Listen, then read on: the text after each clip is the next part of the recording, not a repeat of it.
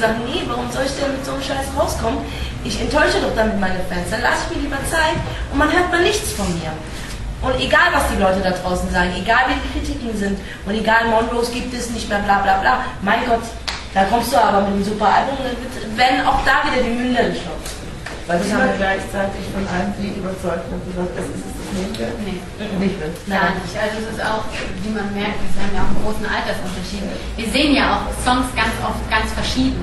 Und es war auch ganz oft, dass die beiden oder wir beide mal das ist der absolute Hit. Und wir uns dann wirklich nach Hause setzen und unseren freien Tagen bis in die Nacht reingehört haben und gesagt, okay, beim zehnten Mal, okay, jetzt, jetzt verstehe ich, jetzt verstehe ich, jetzt kommt langsam. Aber ihr wart euch eher einer Meinung. Also gerade bei dem Song This Is Me zum Beispiel.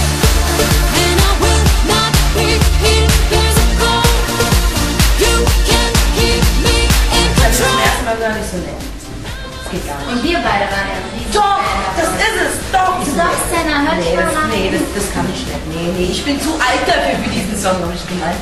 Und dann habe ich mich erwischt beim Putzen. beim Putzen, original beim Wäschewaschen und Putzen. Ich diesen Song gesungen habe.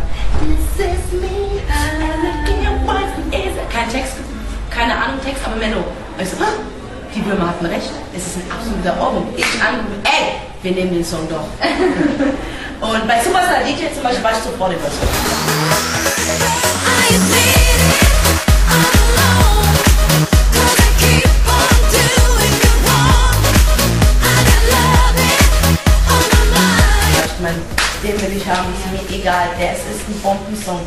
Und auch bei All or Nothing. Cause it's all or nothing. Time to tell me something. Should I go? Die waren wir, aber wir waren eigentlich ziemlich immer einer Meinung. Don't take it personal. Don't take it personal mhm. waren wir sofort einer Meinung. So don't blame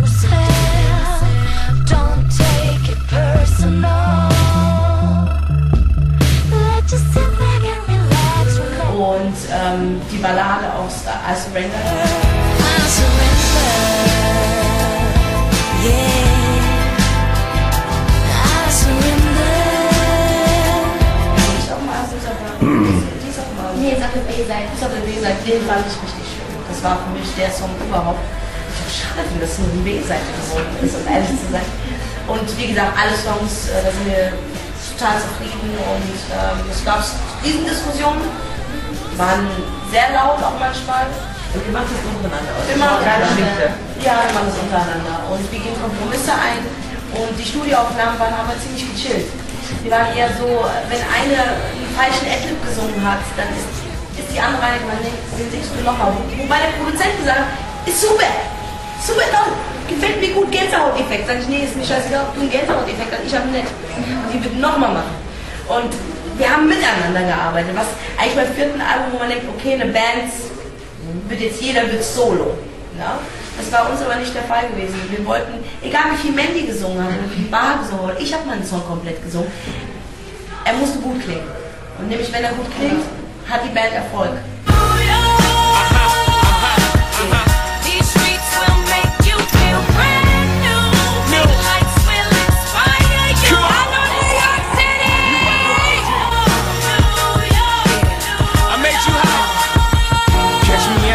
At with OG at a Yankee game. That made the Yankee hat more famous than a Yankee can. You should know I bleed blue, but I ain't a crypto. But I got a gang of walking with my click though. Welcome to Me and my big mouth has got me into trouble again.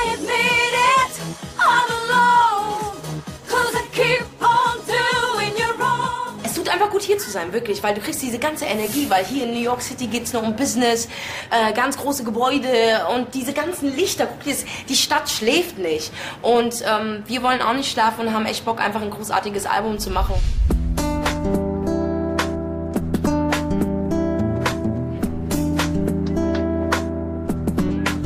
Deswegen haben wir uns auch absichtlich gesagt, okay, wir nehmen uns diese Zeit, wir machen ein gutes Album, denn wir müssen uns auch selber wiederfinden. Also wir müssen uns untereinander wieder zusammenfinden und diesen Punkt haben wir zum Glück wieder erreicht. Time to tell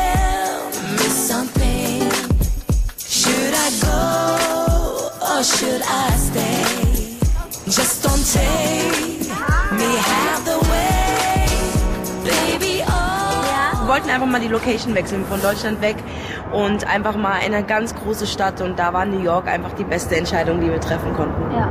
Und ich denke mal, so groß wie die Stadt ist, so groß wird auch das Album hoffentlich.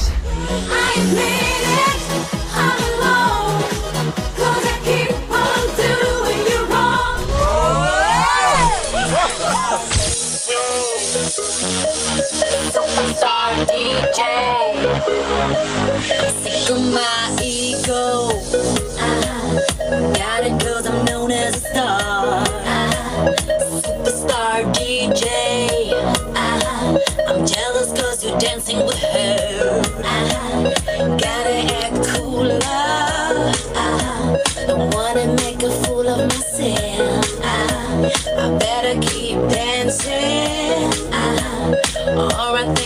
Something else.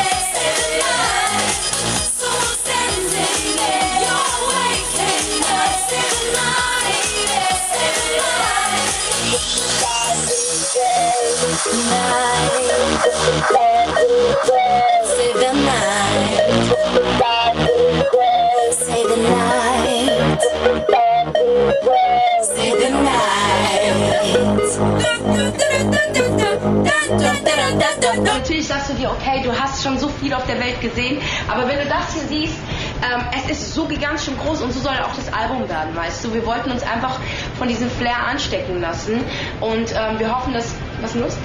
Wir hoffen, dass das vierte Album auch so ganz groß und ganz wird. Ich meine, wir haben viel Arbeit reingesteckt und ähm, es tut einfach gut hier zu sein, wirklich. Can I just get you off my mind? Die Stadt schläft nicht und ähm, wir wollen auch nicht schlafen und haben echt Bock, einfach ein großartiges Album zu machen und da war New York City einfach die beste Entscheidung. Und vor allem in diesem Studio haben so viele Größen aufgenommen. You have certain way to make me cry. Carrie, Nelly, äh, wer noch? JD. Ah! Ja, ja, ja. Und jetzt Monroe. Jetzt Monrose. New York ist natürlich ähm, die Inspiration schlechthin. Also du bist da in einem Studio, wo die größten Stars aufgenommen haben, die goldenen Schallplatten hängen überall. Du blickst direkt auf den Times Square, es sind Millionen Menschen um dich rum und ähm, da kommst du natürlich von einer ganz anderen Seite nochmal ran. Und das hat mir das richtig gut getan, glaube ich. Das hört man auch. Keep it curious,